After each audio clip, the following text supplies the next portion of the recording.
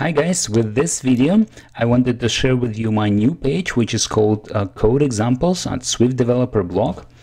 And if you open this page you will see that this page contains lots of uh, short, simple and practical code examples about the Swift language itself as well as how to work with different UI components like buttons, text fields, uh, sliders, navigation bar and so on.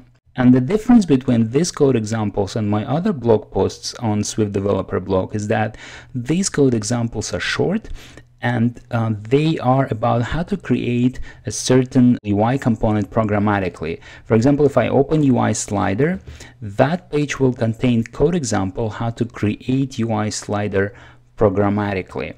And uh, if you wanted to learn how to create UI slider using storyboard, for example, below uh, many of these uh, code examples have links uh, to a video demonstration on how to create and customize that certain UI component using um, Xcode and storyboard. So I hope this page is going to be very useful for you. I'm doing my best to update it every single day with one or even more code examples. And uh, this morning, for example, I've added uh, a few examples on how to work with UI view and image view. For example, this one, uh, if I open it, this is about how to create UI view and image view programmatically and how to load image from a remote uh, URL. And again, under each code example, I have um, a link to a video demonstration if I have to uh, on this exactly same code example or um, a code example which is very similar. For example, this one on how to create image with rounded corners.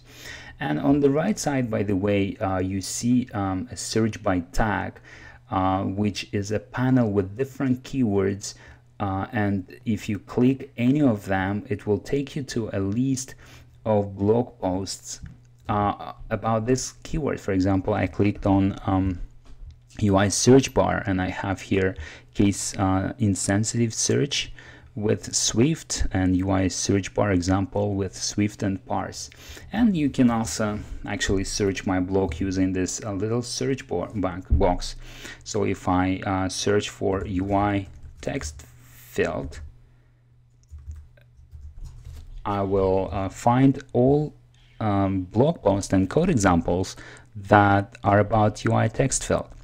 Uh, okay, so uh, I hope this page will be very uh, useful for you guys and uh, please visit it often because uh, again every single day I add more and more to this page I really want it to be helpful and practical and uh, this page will all be about simple short and practical code examples in Swift. And one more little detail uh, I want to mention before I finish this video is that each code example has um, below a link to a video course um, and there are three video courses that I recommend.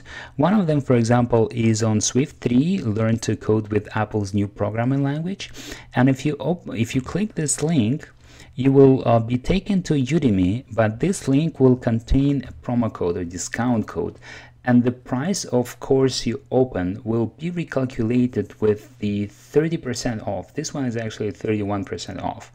And if you continue searching a Udemy with uh, this promo code, those courses that participate in uh, this promo code, they will have, they will all be recalculated and you will have a 30% discount. For example, if I search for Swift, um, right from here I will see that many courses will be recalculated. For example this one from $40 went to $28 from 30 to $21 and so on. Many courses will be uh, recalculated.